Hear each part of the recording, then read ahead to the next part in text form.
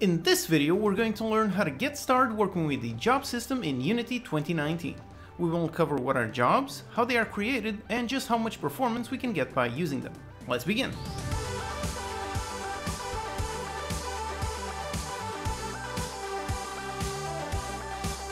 Hello and welcome, I'm your Code Monkey and this channel is all about helping you learn how to make your own games with in-depth tutorials made by a professional indie game developer. So if you find the video helpful, consider subscribing. Okay, so first of all, the job system is one of the pillars of the new Unity Dots tech stack. If you want to learn more about Dots, check the link in the description for the video where I go over what it is, how it works, and what are the benefits. Essentially, Dots is composed of the C-sharp job system, the burst compiler, and the entity component system. I've also done a video covering how to get started working with ECS, so check that out after this video. Now, the goal with the job system is to make it easier for you to write multi-threaded code. As you know, most processors nowadays have multiple cores. This means that you can have several pieces of code working at the same time. So for example, if you have some pathfinding code, using a single thread, you would calculate the first path, then the second, and the third, and so on whereas with multi-threaded code, you can calculate multiple paths at the same time. However, multi-threaded code is also very tough to write and potentially very error-prone with many issues that are extremely difficult to debug. So the job system handles all of the behind-the-scenes stuff, like creating and managing threads, and all you need to do is create jobs and schedule them. So let's get started playing with the job system. First, you need to be using Unity 2019, and then in here you go into Window and open the Package Manager, as of this recording, some packages are still in preview, so go to Advanced and enable Show Preview Packages. Here are all the packages. And for the C-sharp job system, you have in here the jobs package. Also related to it is the mathematics package. This is a math library specific with performance in mind. And also up here you have the burst compiler, which works very closely with the job system, and we're going to test it out in the end. Also related is the collections package, which allows us to use native collections, like for example native list and native array, which we're going to use in order to enable parallel jobs. And the other package related to dots is the entity component system, which is right here on the entities package. But in here, let's keep things simple and deal only with the jobs. All right, so that's it for our package setup. Now let's get writing some code. So first, let's make a simple script to run our code. So a new C-sharp script. This will be our testing. Let's make a game object to add our script. Testing, and just drag our script. Okay. Okay, now in here, let's first make a private void update for our testing. So in here, private void update. And for starters, let's just write a simple function that will take some time to compute. So in here, make a private void. Let's call this a really tough task. So this represents a tough task, like for example some pathfinding. In here, let's just do some code that will take some time to execute.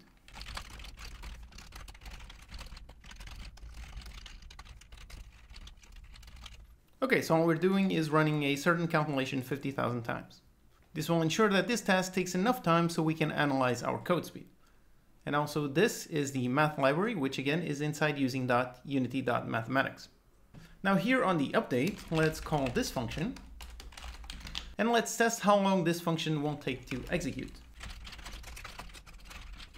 The time.realTime since startup holds the number of seconds since the start of the game. So we do that and then we calculate it afterwards.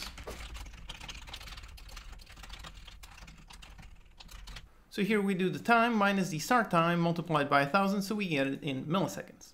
So we should be able to see how long this task will take to execute. Let's see. Okay, here we are, and here in our console, we can see that it's taking around 6.6 .6 milliseconds. All right. So now that we have our simple testing code, let's convert this into a job. Now, in order to make a job, we need to make a struct. Structs are different from classes in several ways, and the main thing is how a struct is a value type, whereas a class is a reference type. That means that when working with structs, we are working with a copy rather than a reference. So we have our struct, and in order to make it a job, we implement the iJob interface, which is up here on the using unity.jobs. Okay, here we need to implement the execute function. And now inside this function, we have the code that will be executed by the job. So in this case, let's just copy our really tough task. And in here, you can add whatever fields the job requires. So for example, if we required a public float for something, we would add it in here. But in this case, we don't need any extra fields. Okay. So now that we have our job defined, we need to create and schedule it. So we go up here, let's make a function that will do the same, but as a job. So a private void, call it really tough task job. And in here, we create a new really tough job. Then we have our job instance. And in here, we just need to go into job and call schedule. This tells the job system to schedule this job to be completed by an available thread when possible. Then this function returns a job handle, which is very important to keep track. So let's return the job handle from this function. Return a job handle. Okay, so all we're doing is creating a new job, which is a struct, and we schedule it on the job system. Now in order to execute our job, let's go here on our update. We call the really tough task job which returns a job handle. And then in order to tell the job system to complete our job, we call job handle.complete. Calling this essentially pauses the main thread until the job has been completed and then the main thread continues. Okay, so that's it for making a very simple job. You define a struct that contains all the information and the behavior for the job. Then you create an instance of that struct you schedule the job on the job system, and then you tell the job system to complete that particular job. So let's see what benefits we get with this function compared to this function. So let's add a really easy way of testing both methods. Up here, let's add a serialized field for a private bool use jobs. And here we do an if. If we want to use jobs, then let's do this. And if not, let's do the normal function. All right, that should do it. Let's test. Okay, so here we are, and there's our Boolean field. As you can see, we are not using jobs right now, and it's still taking the same 6.627 milliseconds. And now if we enable jobs, and there you go, not much really changed. Now, the reason for that is because the whole point of multi-thread code is to do multiple things at once. Here, all we're doing is just a single task, so we're waiting for it to be completed on a separate thread. So that task will take the same amount of time whether it's on the secondary thread or on the main thread. So let's do a more appropriate test to see the actual benefits from jobs. So this function is meant to represent something really tough like for example some pathfinding. So up here, instead of calling it just once, let's assume we are calculating the path for 10 different units. So in here on our normal code, let's just do a for. So here we are pretending that we are calculating some pathfinding for 10 different units. And let's also do the same thing on our job. However, in here, we need to make sure that first we create all the jobs and only then we tell them to complete. Otherwise, we would be creating a job and then waiting for it to complete before doing the next one and so on. So essentially this would be single threaded. So what we need to do is first define all of them and then complete all of them. So in order to do that, let's make a collection to hold all of our job handles. So in here we do using unity dot collections this allows us to go down here and use a native list. Let's make a list of job handles. In here for our native list, we have to pass in the allocator. Essentially, we're telling what we're going to use this list for. In this case, we're only going to use it to set up our jobs, so we can use temp. Now in here, we create our job, we get the job handle, then we add it to our list. So job list, and we add our job handle. And then we don't call complete in here, but rather out here, we go into the job handle to call the static function complete all, and we pass in the list of all of our jobs, so the job handle list. So this tells the job system to complete all of the jobs on this list. And when they are done, we go back in here onto the main thread. And now in here, when using native arrays or native lists, we need to make sure to dispose of them. So after this, we do job handle list and we call dispose. Alright, so now we have set up a more appropriate test. We're doing multiple tough tasks in the same frame. So in the normal way, we simply run this function 10 times, so one after the other. And in this way, we create 10 jobs and then we tell all those jobs to be completed. Okay, let's see the results. So here we are, and we are now doing 10 tasks. So as you can see, instead of taking 6 milliseconds, we are taking 67, okay? Now if I enable jobs, and there you go, all of a sudden it's taking 15 instead of 65 milliseconds. So right there you can already see a pretty massive performance boost. We can open up the profiler to see exactly what is going on, so go into Window, Analysis, and open the profiler. Here is our profiler. Let's see what is going on without jobs. So disable jobs, and as you can see, that's how much longer it is taking. So let's pause and look at a frame. Here we have our main thread, and as you can see, it is taking 70 milliseconds on our testing.update. And if you open up the jobs, you can see that they are all just idle. Now let's resume and enable jobs. And there you go, as you can see, it went all the way down. And now we can stop and inspect one frame and there you go, you can already see that it's occupying much less time, only 15 milliseconds. And here you can see all the jobs and how are they being assigned. You can see each of them is doing its own task, and you can see that several of them are being done at the same time. How many worker threads Unity creates will depend on your CPU. In my case, I have an Intel 6700K, which has 8 logic cores, so in here you can see 6 threads plus whatever else Unity needs. So just like this, you can already see a pretty massive performance boost. However, there's still another thing which provides another huge boost pretty much for free. So let's go back to our code. And in here, we want to use the burst compiler. Now, in order to do that, it's extremely simple. We just go here using unity.burst. And then all we need to go is to our job definition right here. And before it, we add the attribute burst compile. And that's it. That's all it takes in order to enable burst compile on this job. So let's see our code. So here we are back on the normal code, and as you can see, taking 67 milliseconds. Now we enable jobs, and there you go, now it's taking 15 milliseconds. And now for the last one, we go in here into jobs, burst, and enable, and let's see how much it goes down. And there you go, it goes down from 15 milliseconds down to 0.03 milliseconds. So as you can see, that's a massive performance boost by just taking a box. Obviously, how much of a boost you get will depend on what exactly you're doing, but as you can see, for mathematical functions, this is insanely fast. Alright, so this clearly shows you the massive performance you can get by using jobs to run your code in many threads. So now that we have covered the basics of our job system, let's see what other interfaces we have. So one of the interfaces is a simple iJob, and then you also have the iJob parallel for. This is meant when you have a job that you want to execute on elements inside a list. So let's create a simple test. We're going to create a bunch of units, put them in a list, and then do a job that runs on elements of that list. So let's do that.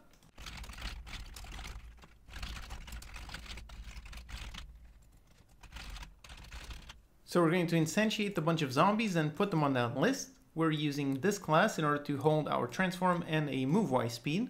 Let's create them.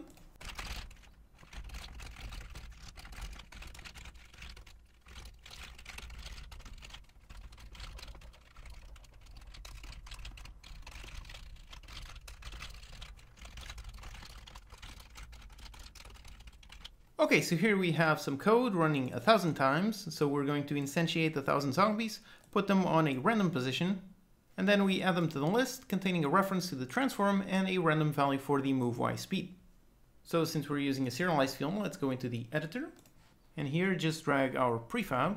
And here, as you can see, the prefab is extremely simple. We just have a simple sprite render. So let's run the code and see if all of them are being spawned. And yep, there they are. We have a thousand zombies being spawned. Okay. Now we want to make some code in order to move them up and down. So let's see. Back here in our script, let's go into the update. And for now, let's comment out our previous test. And here, first, let's do it the normal way without using jobs. So we cycle through all the zombies. And here we want to move the transform based on the move y. Then if he gets to the top of the screen, we want him to move down, and if the bottom, we want him to move up.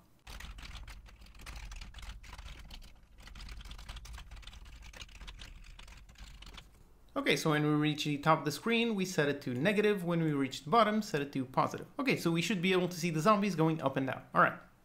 So this is some really simple movement code. Now, in order to test our code speed, let's also add our really tough task in order to make sure that this simple function takes some time to compute. Okay, so this is our test. Let's try it out.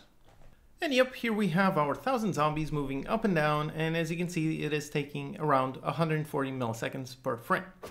Alright, so now let's see how we can do this much more efficiently using parallel jobs. So here in our code, let's make a different job. So we create a new struct, so a public struct.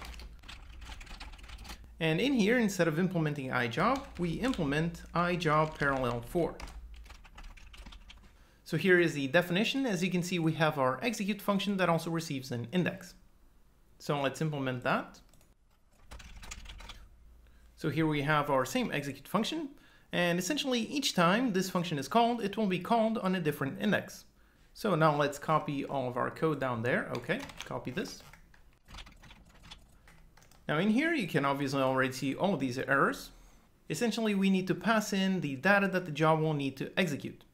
And since jobs don't work on the main thread, we cannot use the transforms directly. So it's here that we need to think of exactly what data are we modifying. And the answer is we are modifying a position and a move y. So we go up here and make a public float for our move y. And then we create a public float3 for our position.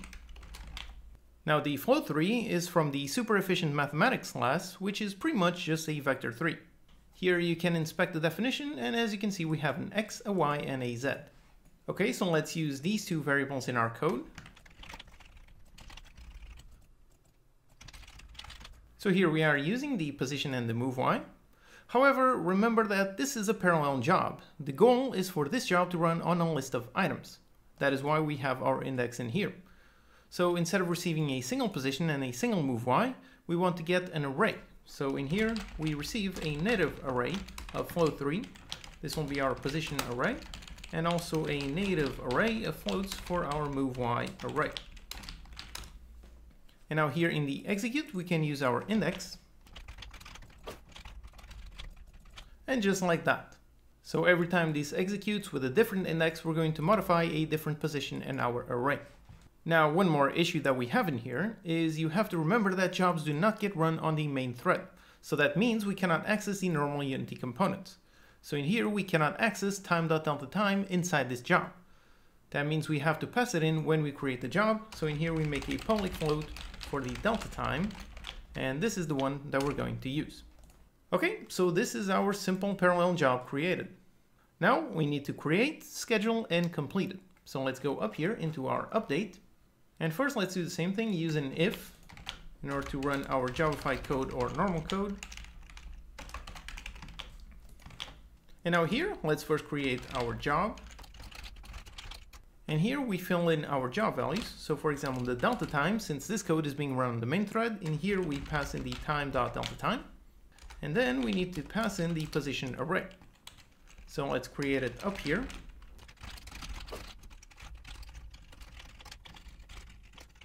So we are creating a position array and a move array using a native array. And on the allocator, we're using temp job since we're going to be using these inside a job. And now obviously, since we are instantiating an array, it is completely empty. So we need to fill it up with our current data.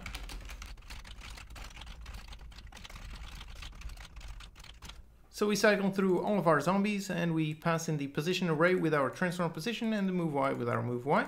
So now with those arrays being filled, we can now pass them into our job. And just like that, our job now has all of its fields. So we can now go into the really tough parallel job and call our schedule. Now in here, as you can see, we need to pass in our array length, which in this case, it's our zombie list.count. And then we also need to know the size of each job batch. So this value is going to depend a lot on what you're trying to do. Essentially, this is how many indexes each job will be responsible for. So in our case, we're trying to run our job on a thousand zombies, so let's send each job to handle a hundred. Okay, so just like our normal job, this returns a job handle. So we have our job handle, and just like the normal job, we call it dot complete. So this won't pause the main thread until our parallel jobs has been completed. And that's it for our job. We create our arrays, we fill it up with whatever variables we need. We create a job instance, we schedule our job, and we tell it to complete. Now, since we are executing our job on a duplicate piece of data, that means that after the work has been done, we need to update our original values. So we do another cycle.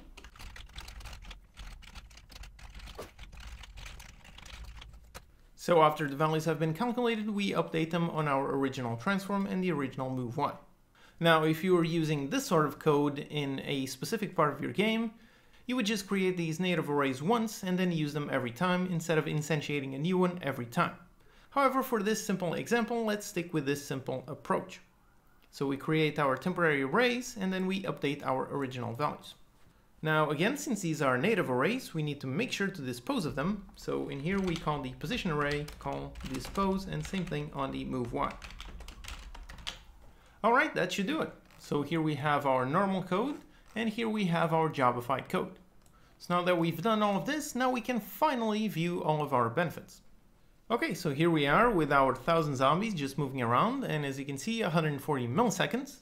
Now let's enable jobs, and there you go, it goes from 140 milliseconds to just 40 milliseconds.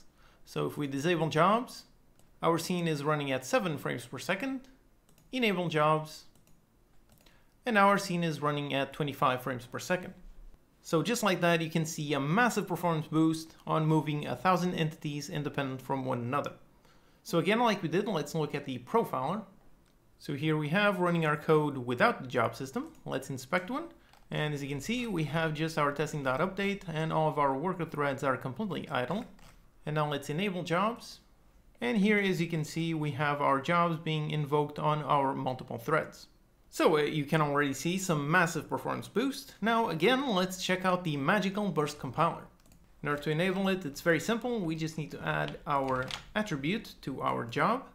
So here we have our scene running on normal code. We're taking 140 milliseconds. Okay. Now enable jobs, and there you go, go down to 140, down to 40 milliseconds per frame. And now enable the burst compiler. Let's go here, burst enable, and let's see, it goes from 40, and there you go, down to 4 milliseconds. So without jobs, 140 milliseconds, with jobs plus the burst compiler, and it's 4 milliseconds. So just like that, you can see the insane improvements you can get from the job system and the burst compiler. Now, one last thing, let's look at parallel jobs specifically for transforms. So for that, first we go up here and make sure that we are using Unity engine.jobs. And now we can go down here to make another job, our public struct. And in here we can implement iJob parallel for transform. This is a specific parallel job that works on transforms. Here, as you can see, we got our execute function, which receives an index and also a transform access. And the transform access essentially duplicates a transform, but it does so in such a way that we can use it inside our jobs. So now in here, let's do our code the same as on this job.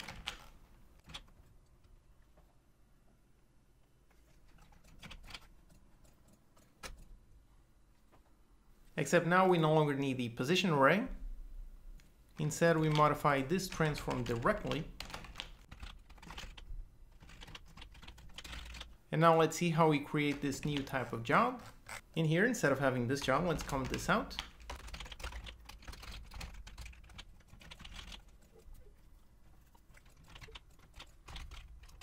And here you can see that this function on schedule, we require our transform access array. So we need to fill that up.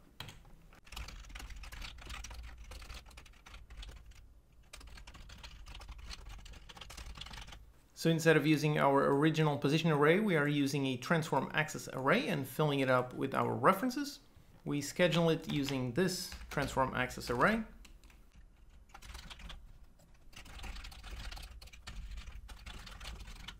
And after the job completes, again, the transform is automatically updated, so we no longer need the position, we just need to update our move y. All right, so that's it. As you can see, this is a very specific job for working with normal transforms. And finally, we need to go into the transform access array and call dispose. Let's also add the burst compile attribute to make it insanely fast. Okay, let's see. So again, here we have our normal code. Everything still works the same, 140. Enable jobs, and it's down to 40. And enable jobs plus the burst compiler, and we go down to 4, and everything works perfectly fine and we can look at the profiler. Here we are on the profiler, and as you can see, our code is running extremely fast, the whole thing in just 1.36 milliseconds. Everything else is the editor loop. And you can see here all of the workers and all of them doing all of that transform work in here. As you can see, we have 16 instances and each of them is taking 0.021 milliseconds. So in this video, we just covered the C-sharp job system. You can get even more performance by combining the entire dot stack. So the job system with the burst compiler working with the entity component system. With all of them put together, you can get hundreds of thousands of units on screen. So make sure you subscribe to the channel for upcoming ECS tutorials using the complete dot stack with the job system and the burst compiler just to see how much performance we can squeeze out of this new awesome tech stack. I hope this video helped you understand how to get started making jobs and the massive performance boost you can enjoy. As always, you can download the project files and utilities from unitycodemonkey.com. If you liked the video, subscribe to the channel for more Unity tutorials. Post any questions you have in the comments and I'll do my best to answer them. Alright, see you next time.